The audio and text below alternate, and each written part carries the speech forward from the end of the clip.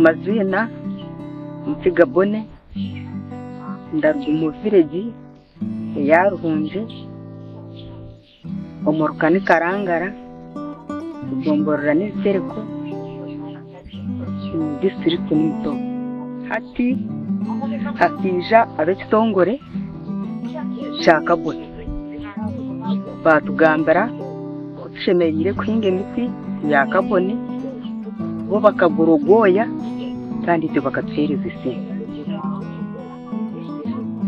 aba bandi z'abantu nkabana bakabaha embeho konka nyowe embibo nkagyegurira eyo naatandika niisa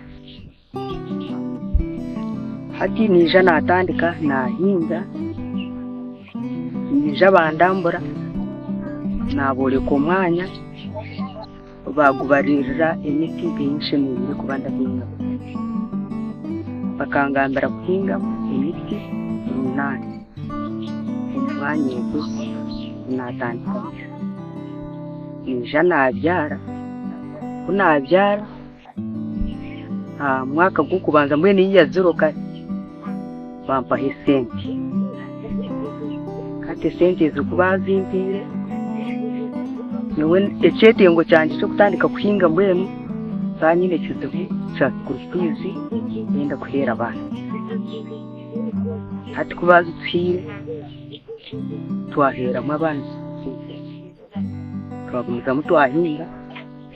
Nja omurundi gwa kabiri bashuba barambura bashanga porojekiti enyine eragyenda omu maisho bashuba batwongyera esente na zo esente ezo bashuba twazikozesa nka kiriya ekitwakire gyendereire kukora kya sirikizi twahinga emiti ija yakura hati emiti ku yakuzire hati mbwene ebindi ebinagobiremu oyihireho school fees tukaba turabonamu enku